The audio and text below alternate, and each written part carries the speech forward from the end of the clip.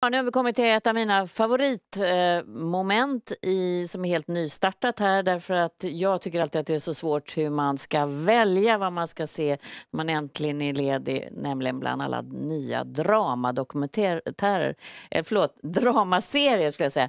Och inte bara nya utan det finns ju en skatt av äldre också. Och då har jag tagit till hjälp Carolina Fjällborg som är på Aftonbladet, tv-redaktör där. Välkommen. Hej. Tack. Och Emil Persson som är nöjesredaktör på Café och jag har ju varit hos dig i Fördomspodden också. Mm, det var härligt. Och nu är du här. Så är det. Ja, men jag ska inte köra några fördomar på dig. Utan jag är intresserad av era tips förstås. Vi valde den här gången att ha lite grann av ett tema, nämligen sådana här familjeserier. Och inte då för hela familjen utan som skildrar familjer av olika slag. Och det här är intressant för de ser inte ut som vanliga familjer, eller kärnfamiljer i alla fall, många av de här scenerna. Eh, du sa att eh, Modern Family, som är en av de äldsta som har gått, att det här har gjort mycket för det fanns en kris när den här började i sitcom. Ja, alltså sitcoms hade ju verkligen en storhetstid på 90-talet. Mm. Eh, det fanns jättemånga som var hur stora som helst och sen var det ganska svajigt ett tag. Det fanns några som gick bra men eh, det var lite sådär halvkrisigt. Och eh, Modern Family, dels för sitcomen i allmänhet men familjesitcomen i synnerhet gav ju verkligen, blåste nytt liv i den. För att det var så länge man gjorde efter samma koncept. Det var en Mm. klantig pappa, en Just präktig det. mamma, tre barn, ett dånande burkskratt. Och så kör man på fast den tiden har förändrats. Mm. Eh, och jag tyck, det visar ändå Modern Family att man, man kan göra en egentligen ganska klassisk familjesitcom fast med lite andra grepp och lite mer tanke. Så För de som inte bra. har följt den, eh, man kanske inte har missat ändå att den finns, för det är säsong åtta som pågår nu. 2009 eh, startar den, ligger på Netflix. Vad skulle du säga är själva twisten i, i den här? Ja, men dels är det ju då att det ska skilja moderna familjer då, som man hör Mm. på titeln. Och det är ju egentligen tre olika familjer, de hänger ihop, men det är tre olika man skildrar. Och det är då en vanlig kärnfamilj och sen är det ett homosexuellt par med adoptivbarn och sen så är det ju då en frångift äldre man med en yngre hustru och eh, bonusbarn kan man säga. Mm. Och sen är det också det här eh, fake dokumentärgreppet som skiljer lite från de flesta. Att, att det är som en, en, en låtsasdokumentär man följer. Mm. Vad har du för förhållande till Modern Family?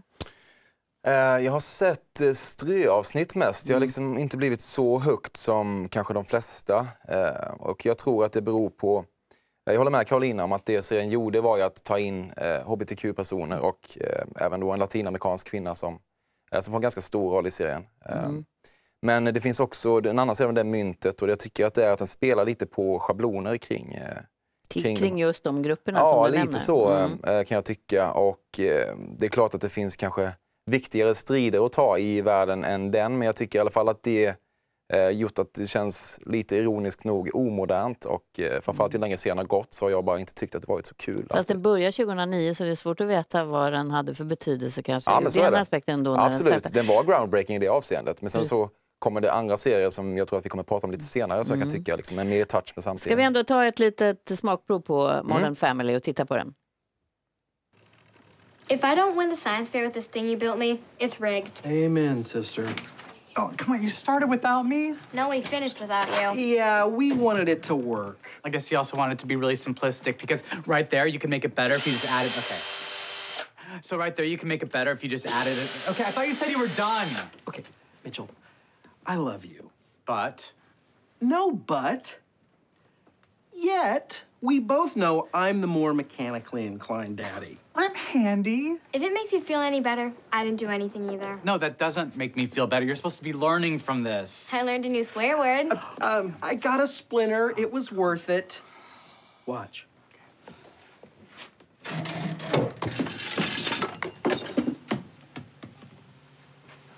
Is that it?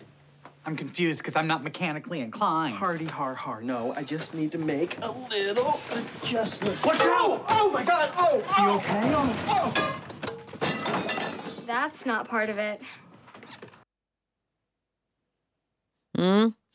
Det var lite av den där klantiga pappan. Precis, fast i en annan tappning. ja. Men alltså, ja, den här serien har kanske hållit på lite länge nu, Mm. eh, kan man väl känna. Men ehm, Den har nog betytt mycket för många och det finns de som har tjänat stora pengar som spelar den här. Hon som spelar Gloria gick ut själv och sa att hon tjänade 360 mm, miljoner dollar om året. härligt. Ja. Men jag undrar, kan man någonsin göra något annat efter det här? Det är ju ett problem när man håller på för länge i serier som skådis. Samtidigt om man kollar på Ed O'Neill som spelar eh, Jay Pritchett i den här serien Mm. Så var ju han verkligen liksom synonym med Våra värsta år. Mm. Jättelänge, för den var ju så stor. Mm. Och sen, men hittar man sen rätt roll så kan man ju liksom fortsätta. Mm. Han fick ju Ändå. också sitta i karantän ganska länge. Precis. Ja, just det. Det kanske är säga. Men nödvändigt. det är ju ett, ett, en förbannelse tror jag som sitcom-skådespelare brottas med. Det är ju Mm. bara titta på eh, Vänner och de här stora serierna från 90-talet. Som en av mina favoriter. Framförallt så Ja. bondar jag väldigt mycket med min dotter när jag tittar på Vänner. Det är sån här härlig känsla fast vi har sett det om och om igen. Mm. Så skrattar vi lika mycket varje Ja, gång. men den kan man se Ja. på eftermiddagarna hur många år som helst. Ja. Du, eh, du har ett tips. Eh, Du får börja. Ni har tips båda två, men Carolina ska börja. Ja, precis. Eh, jag vill gärna prata lite om Transparent när vi pratar om familjeserier. Mm. Eh, det är en dramakomedi som har gått i tre säsonger nu. På Viaplay, va? Ja, Mm. precis. Och eh, den handlar ju då om en stor judisk familj i Los Angeles. Eh, och då, det börjar med att patriarken i den här familjen eh, bestämmer sig för att genomgå ett könsbyte och ska berätta eh, för resten av sin familj om det här. Mm. Och det, det klipp vi ska se nu är två av huvudpersonerna. Precis, det är då eh, Mora, som hon heter nu, Mm. eh, och eh, hennes son. Mm. Hon har ju tre vuxna barn, två döttrar och en son. Mm. Ska vi titta?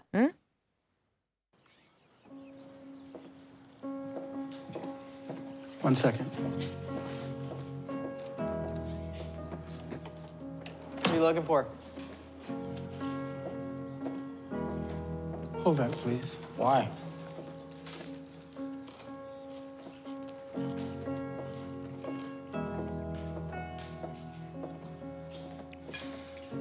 Okay. I think we should call somebody.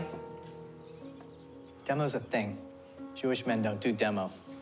I am a Jewish woman, Josie, and Jewish women do whatever the fuck they want. Hold on. Yeah. Put this on. There you go. Seriously?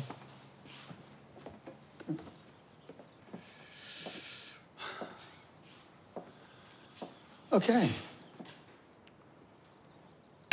Whoa.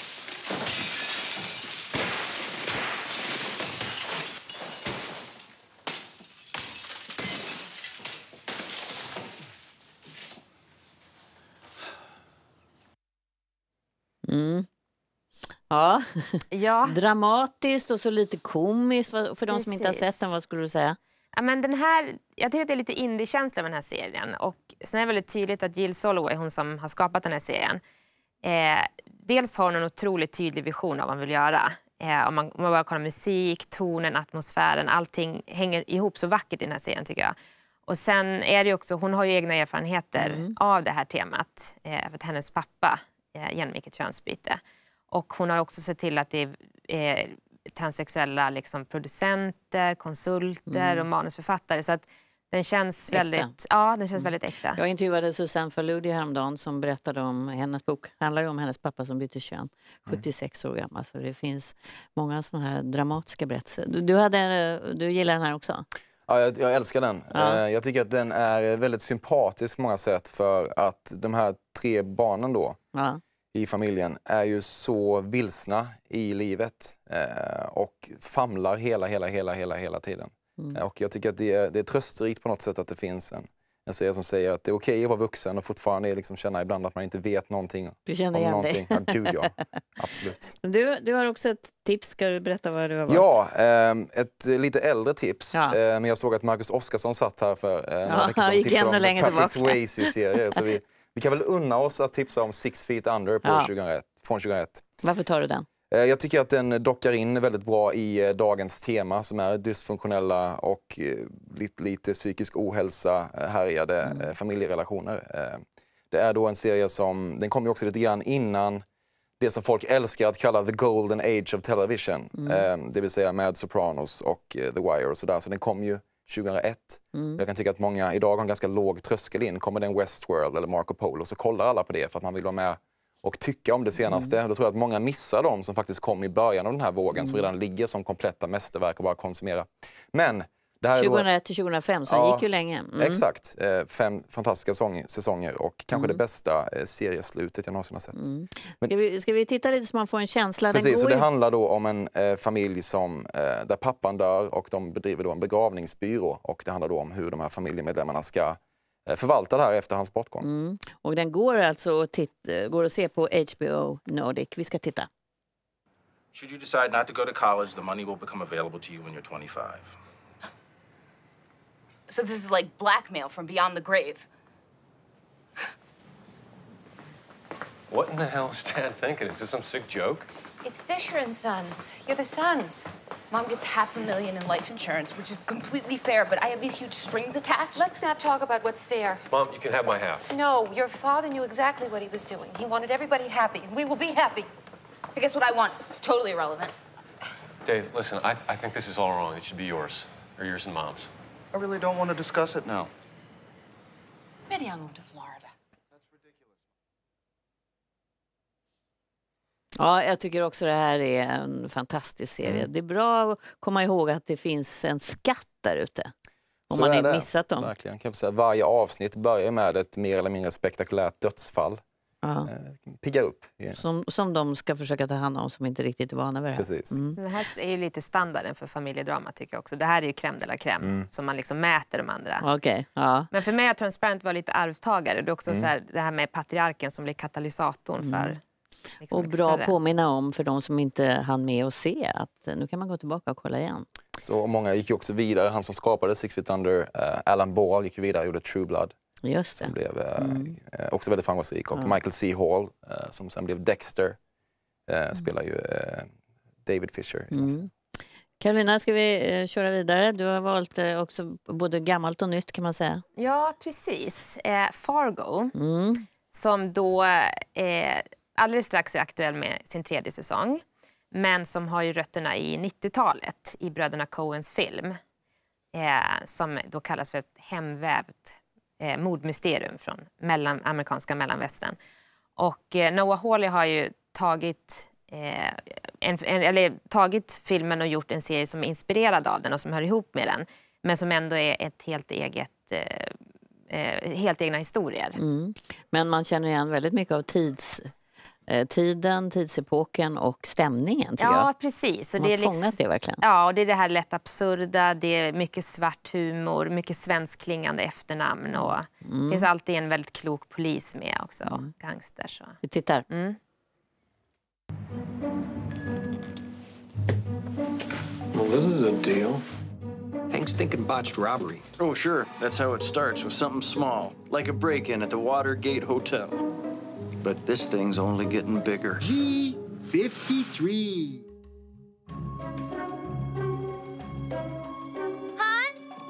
Judge, huh? So less likely a robbery gone bad, more likely a judge-specific beef. Mm-hmm. Judgment. Which brings us to who shot her and where'd he go? Hun, don't. There's a man in that. Everything okay here, Mom? Your son's wanted in connection with three murders. And get him out of here. Mm. En stark mamma. Ja, det är så fantastiska rollfigurer i Ja. den här serien. Och det är, alltså, det är en antologiserie så att varje säsong är en avslutad historia. Ja. Och de utspelar sig också i olika tidsplan. Sen finns det kopplingar mellan dem, men de är en fristående. Mm. Och eh, ja, den är otroligt bra. Jag tycker att det, det är mycket korsbefruktning mellan tv och film. Och det här är verkligen hur det ska göras. Mm. Och det är ju intressant att man börjar göra det så. Man lägger ner så mycket mer eh, vad ska man säga, resurser nu på att göra de här. Så att det blir verkligen bra. Det är Mm. som att gå på bio. Ja, oh ja. Mm. Det går på, går på Tycker du bio om varje den? vecka. Ja, jag älskar den. Mm. Eh, Jag tycker det, de har haft sån otrolig eh, fingertoppskänsla i castingen också. Mm. Eh, Första säsongen tycker jag bas mycket av eh, Billy Bob Thornton och eh, Martin Freemans eh, samspel. Eh, Medan andra säsongen var egentligen en ännu bättre helhet med Mm. Kirsten Det Dunst andra är och, ännu bättre. Och vi ska väl, det är säsong tre, va? Som har premiär nu. 20 april Ja, så att kommer det den. Men har man inte sett den här innan så tycker jag verkligen att man ska börjar från början. ringa i sig den. Ja, från början. mm, Då hinner man ju innan 20, Precis. 20 april om man bara ligger i. så nu får du tipsa. Ja, jag ska prata om Better Call Saul eh, som då springer Mm. Förlåt, får ur... jag bara stoppa dig? Ja. HBO Nordic ska vi säga. Många undrar vad det Fargo som Fargo, gick på. ja. Ja. Ja. Eh, har du sett Breaking Bad, Malou? Ja, det har jag gjort. Då är du bekant med eh, advokaten Saul Goodman. Mm. Mm. Nej, men det här är då en så kallad spin-off. De har alltså lyft karaktären Saul Goodman. Som ju Men var den, den är väldigt svart. svart. Better Call Saul. Nej, Breaking, Bad. Ja, det får man säga. Jag fick nästan, Ja. nästan inte andas. Ja, absolut. Den är, så är det är här det. Ja. samma svärta? Eh, ja, fast lite mer lågintensivt skulle jag säga. Den är inte så, folk begår inte så pass onda handlingar. Eh, det, liksom, det skjuts inte ihjäl människor på samma sätt i Better Call Saul. Eh, men det jag tycker är häftigt med det är att spin-offen som konstform kan man känna lite grann har varit på utdöende eh, av, av goda anledningar. För det har nästan aldrig blivit bra. Det var ju Frasier eh, kanske som sprang ur skål, eller Cheers då. Eh, som man skulle kunna hävda var lyckad. Men annars har vi sett Joey från Vänner som du nämnde. Eh, var inte så kul. Eh, vi hade en, en svensk eh, variant med eh, Solsidan Ove i kontoret som kanske inte blev superlyckad heller. Men här har man verkligen lyft någonting och tagit landskapet och eh, några av karaktärerna i Breaking Bad och gjort en annan serie som är mycket mer dramaorienterad och går Det är långsammare. skickligt, för det är lätt att ju gå fel, det kan man ju säga. Ja, det är också samma människor som har gjort den då, eh, Vince Mm. Gilligan och en kille som heter Peter Gold. Att de har både det här otroliga spänningsdramat i sig som är Breaking Bad och även det här lite mer som handlar nästan bara om så här hur mycket hans moral wobblar mer. Walter White då som är huvudkaraktären i Breaking Bad hade ju en resa som var rakt ner i ett samvetsmässigt helvete. Med Saul Goodman då, eller Jimmy McGill som han fortfarande heter innan han tar sitt nya namn. eh, Så är det lite mer sådär, han hela tiden går på en fin linje och det är lika spännande fast på ett annat sätt. Ska vi titta? Det gör vi. Mm. Look, all I know is what I read in the paper. And typically, when money goes missing from the county treasury, and the number here is uh, 1.6 million. Well, that's a accounting. It's a discrepancy, absolutely. But typically, when that happens, the police look at the treasurer. And since that person is, uh, I just think a little proactivity may be in order. Yeah, I just think I'd look guilty if I hired a lawyer. No, actually, it's getting arrested that makes people look guilty, even the innocent ones. And innocent people get arrested every day. And they find themselves in a little room with a detective who acts like he's their best friend. Talk to me, he says. Uh, help me clear this thing up. You don't need a lawyer. Only guilty people need lawyers. And boom, hey, that's when it all goes south. That's when you want someone in your corner, someone who will fight tooth and nail. Lawyers, you know, we're like health insurance. You hope you never need it, but man, oh man, not having it? No. Mm. Älskar honom. Ja, Netflix ska vi säga, där går också Breaking Bad. Det är ju jättebra serie också, det är mer att den är väldigt mörk. Ja, den är 5 plus, Ja. utan tvekan. Ja. Eh, jag tycker också det är så spännande att man har hittat ett sätt att utveckla karaktärer. För två timmar på bio, eller två och en halv eller vad det är, så då måste man ju trycka ihop en eh, handling. Mm. Men här kan det bara fortsätta. Ibland går det för långt tycker jag, för att man tröttnar och inte kan stoppa. Men, eh, men i de här fallen så ser det ut som att det håller. Det är väl därför så många stora stjärnor, stora filmstjärnor gör tv också. Mm. För att de verkligen får göra en roll som de kan utveckla så många timmar. Och det måste ju vara fantastiskt att få använda det hela registret som en skåd- bra skådespelare har. Det finns ju en populär liknelse om att tv-serien är den nya romanen som man har Ja. sagt nu länge. Eh, det, liknelsen i sig kan man ju vara trött på men det ligger ju någonting i det. Ja, det gör det. Eh, This is us är en eh, annan historia som eh, du får berätta om, Carolina. Det är också en märklig historia, hur man hoppar fram och tillbaka i tiden. Ja, precis. Alltså, det är ju verkligen en riktig, ett riktigt familjedrama. Mm. Eh, ganska tårdrypande som Mm. har eh, eh, blivit stort ganska snabbt och hyllat. Och det handlar om... Ja, alltså det är ju då... I centrum kan man säga att det är tre syskon. Varav två är biologiska tvillingar och den tredje är född samma dag och blev adopterad av deras föräldrar.